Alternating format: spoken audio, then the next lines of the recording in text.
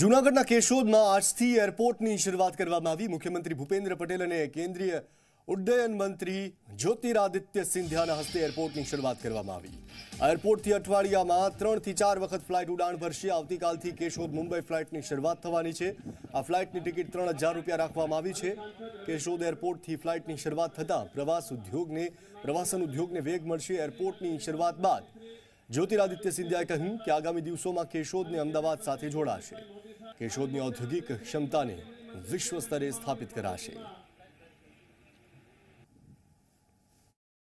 आज दो दो सौगात एक साथ केशोड़ को दी जा रही हैं जहां एक तरफ अधोसंरचना के क्षेत्र में नागर विमानन क्षेत्र का नया हवाई अड्डा 25 करोड़ रुपए के लागत से शुरुआत की जा रही है वहीं अलायंस एयर की फ्लाइट मुंबई से केशोड़ की शुरुआत की जा रही है।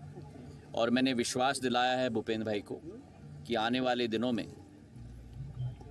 जल्द से जल्द केशोड़ को हम लोग कोशिश करेंगे कि अहमदाबाद से भी जोड़ा जाए।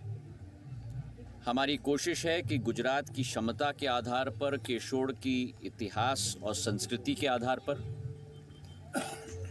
हम लोग इस प्राचीन इतिहास, इस प्राचीन संस्कृति और औद्योगिक क्षमता जो केशोड़ क्षेत्र की है, इसे विश्व स्तर पर हम लोग निखारें।